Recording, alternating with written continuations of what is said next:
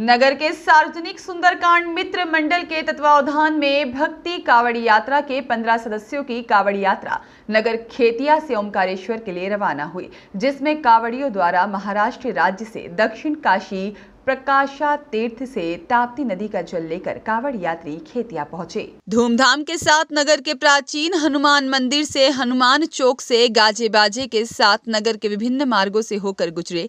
नगर की धार्मिक जनता द्वारा कावड़ियों को ओमकारेश्वर के लिए विदाई देने के लिए परिजनों और भक्तों ने साथ पैदल यात्रा भी की। खेतिया से ओमकारेश्वर पहुंचकर पूजन कर कावड़ यात्रा ओमकारेश्वर से उज्जैन पहुंचेगी। कावड़ को कंधा मिलाकर कावड़ियों का अभिनंदन कर मुख्य मार्ग से होते हुए मनोकामनेश्वर महादेव मंदिर खेतिया पहुंचकर भगवान मनोकामनेश्वर जी और कावड़ की आरती की गई। श्रावण माह में भक्ति भावना के साथ शिवालयों में श्रद्धालुओं की संख्या बढ़ने लगी है। वहीं मनकामनेश्वर मंदिर की प्रबंध समिति ने शिव डोले के आयोजन को लेकर तैयारियाँ प्रारंभ कर दी है। खेतिया में चल रही बारिश के बीच उत्साह से श्रद्धालुओं ने कावड़ यात्रियों का स्वागत करते हुए बोलबम, जय शिव शंकर का जय घोष भी किया।